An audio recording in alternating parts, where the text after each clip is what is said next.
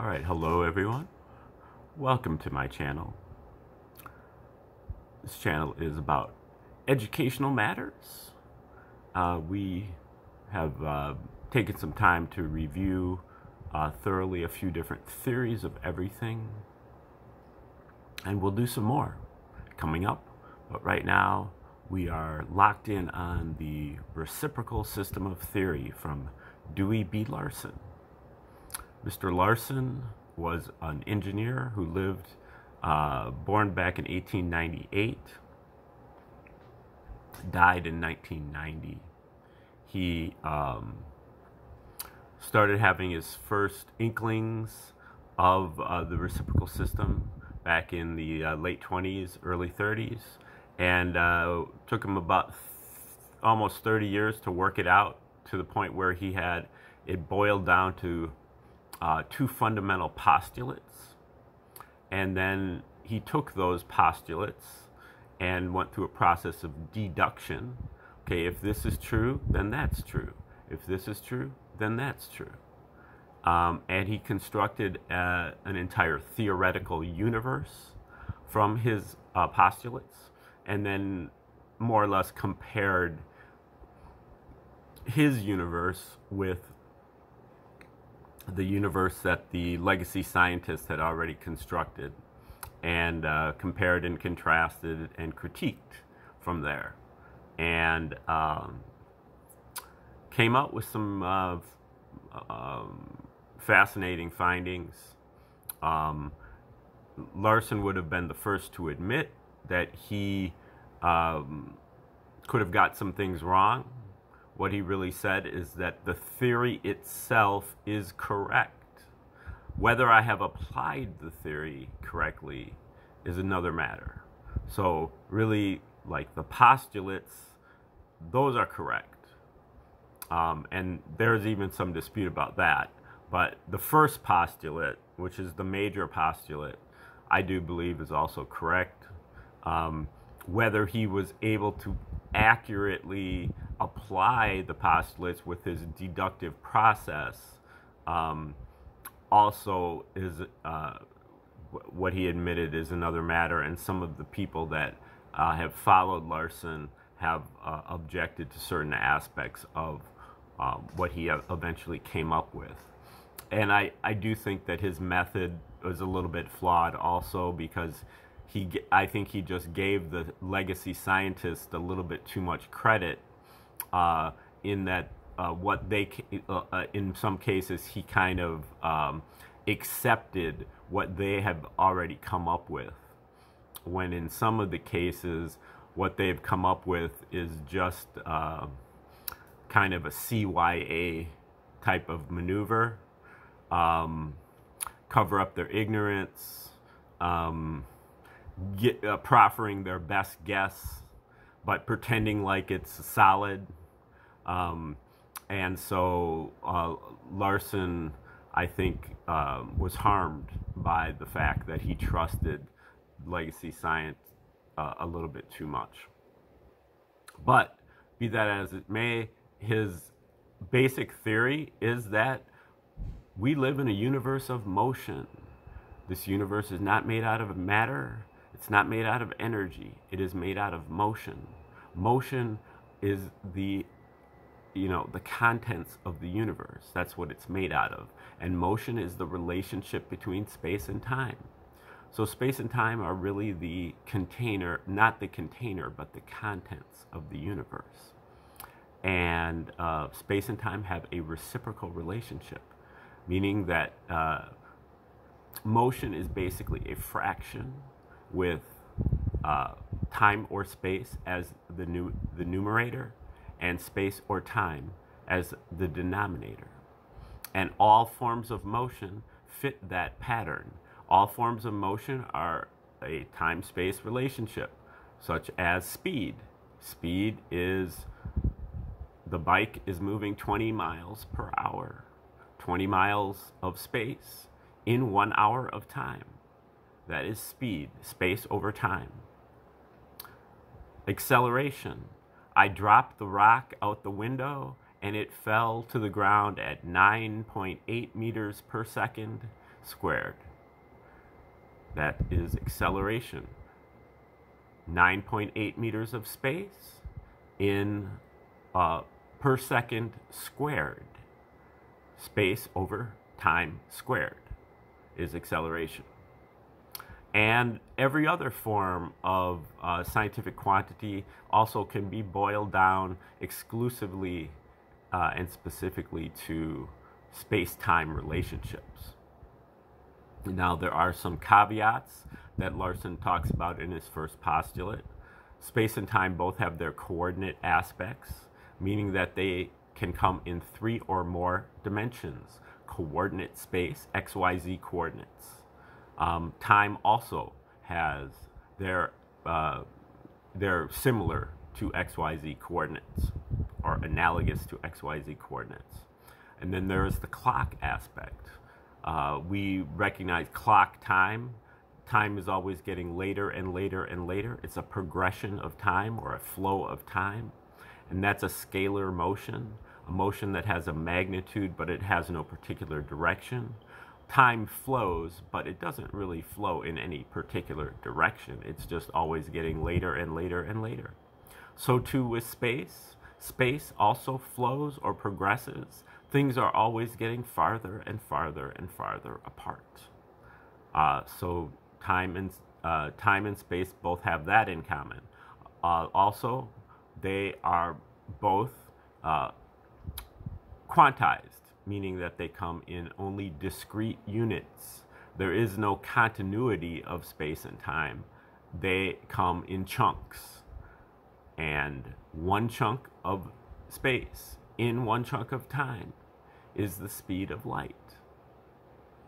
And uh, that sets up uh, the speed of light as really what Larson calls unit speed. One over one equals one. And that is uh, unit speed is the boundary between two separate major sectors of this universe, which Larson calls the material sector and the cosmic sector. The material sector is the one that we're familiar with, the one with the coordinate space and the clock time. Um, but, and this is where the, you know, legacy scientists have made all their measurements and their calculations and observations.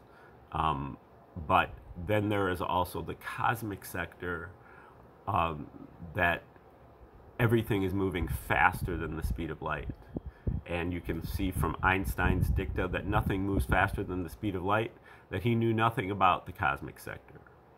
And the cosmic sector is where we have coordinate time, three dimensions of time, and progressing space. Space is always getting later, uh, further and farther and farther apart.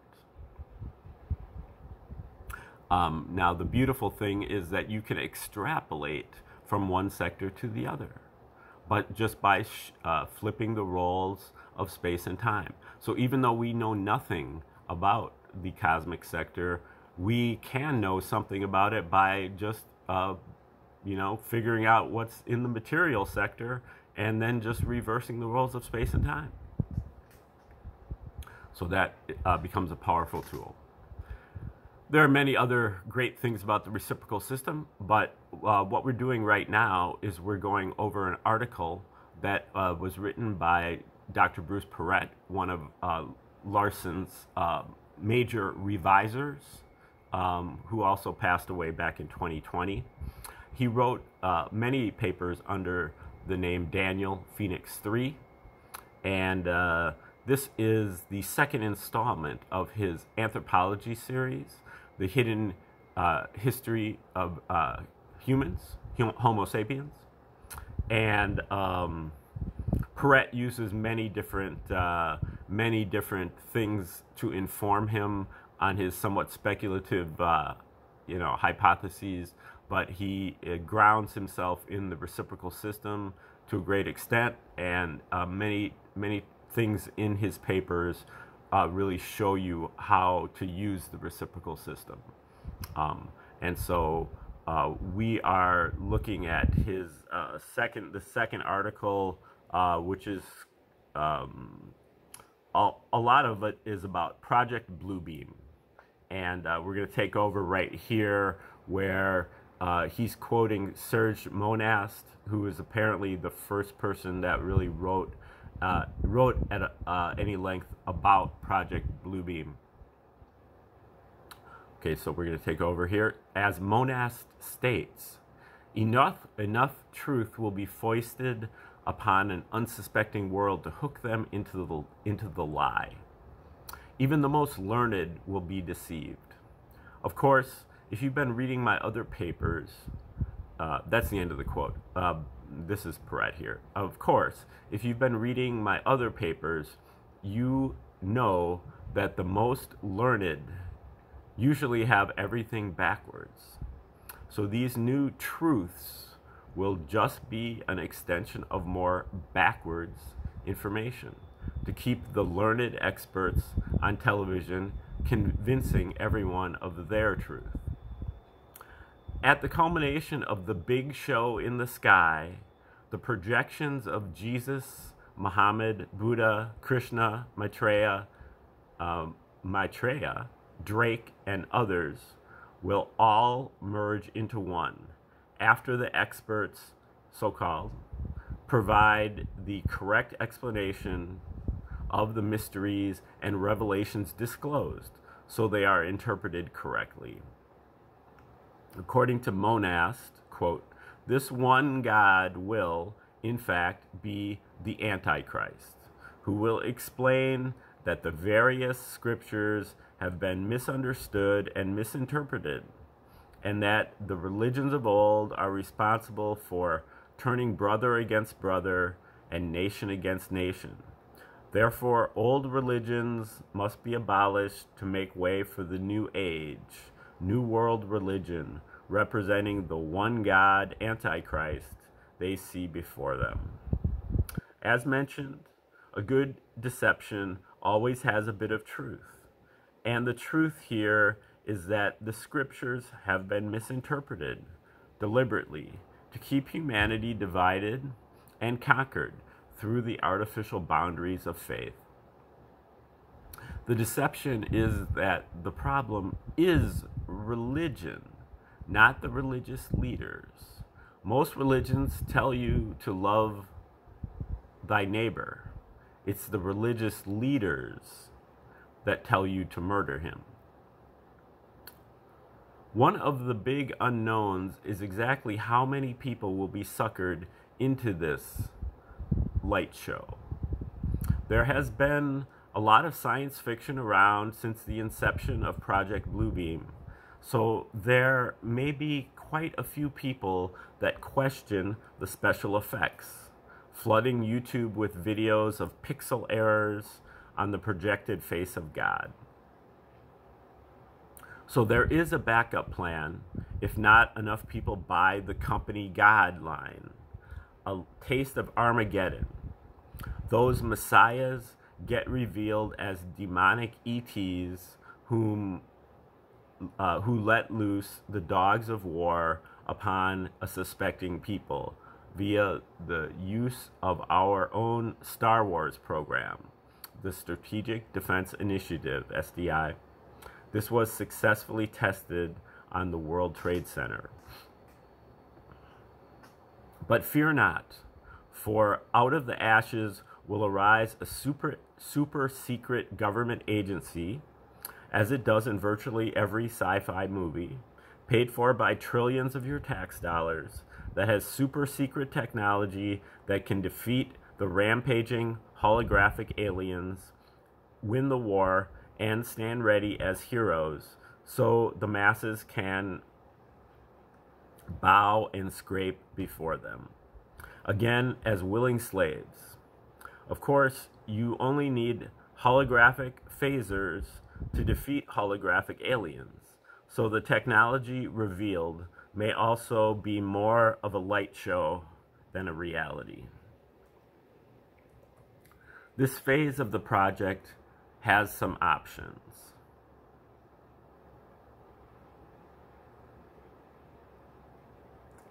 One, people accept the return of the ancient messiahs uh, not likely in industrial societies.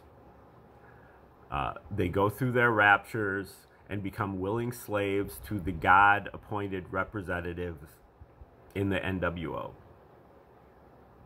Two, the Messiahs turn out to be friendly ETs, here to harvest mankind with a mass ascension to higher states of being.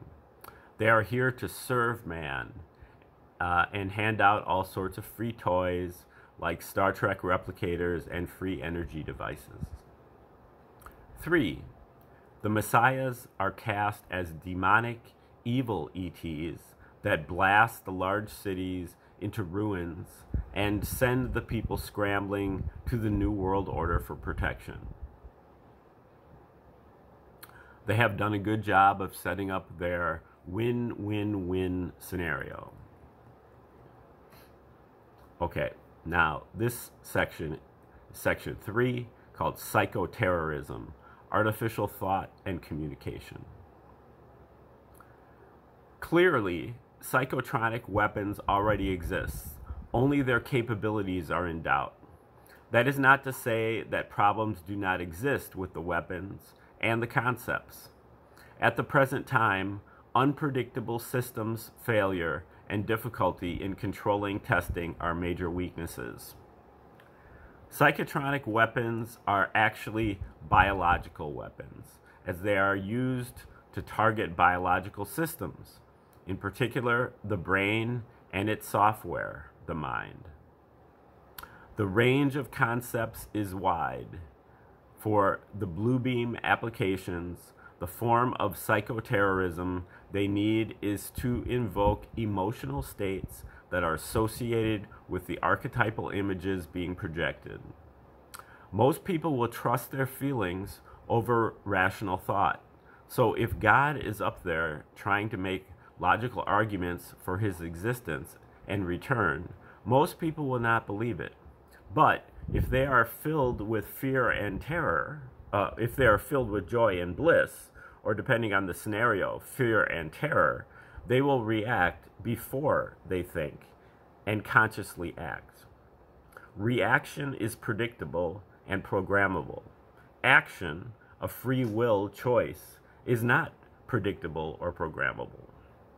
As to the kind of programmed reaction, Monast continues, quote, naturally, this superbly staged falsification will result in dissolved social and religious disorder on a grand scale, each nation blaming the other for the deception, setting loose millions of programmed religious fanatics through demonic possession on a scale never witnessed before. End quote. Of course, the sudden, unexpected arrival of godlike aliens from a vastly superior world would be quite a shock to human society. So society had to be prepared for such an arrival, even if it was all faked with fancy human technology. In order to do so, new information would have to be presented to civilized man at an early enough age for them to consider it and remain in social media sufficiently long so they uh, teach their young to accept it. This normally requires two generations, where the first generation is introduced to the concept, gets to live with it for long enough that it becomes safe and mundane, then pass it along to their progeny, who, who accept it as matter of fact. In industrialized countries, the human generation is about 25 years. It takes the time it takes for a newborn to grow up, get fully programmed into society, reproduce, and educate their young. So, a proper preparation of this kind of event needs planning and about 50 years to execute. Currently, society is very accepting of aliens and the ET concept because it has been around since the hippie movement in the mid 1960s. Uh, guess what? That's 50 years ago. Society has been fully prepped and is ready to be fully conned. The quotation made by Lieutenant Colonel Alexander starting this section was made in 1980. Psychotronic, psychotronic weapons were well underway by then, including synthetic telepathy, the use of transmitters to put voices directly into the heads of unsuspecting people. Curiously enough, the early 1980s was also the start of the channeling craze. No longer the typical uh, mediumship of the earlier years communicating with the spirits of the deceased, but now with a new twist aliens from outer space, other planets, and other dimensions. Monast's inferences are that all this channeled information, purportedly from extraterrestrials, is nothing more than propaganda in an attempt to control the spiritual development of man by keeping the God concept externalized, simply shifted over from the old gods to the new ETs, but still the same group pulling the strings. The development of synthetic telepathy could not have happened at a more opportune time, as it coincided with the recreational drug craze that breaks down many of the mental inhibitions to radical ideas. Or perhaps the drug craze was introduced at the same time to assist in the acceptance of this new form of C3.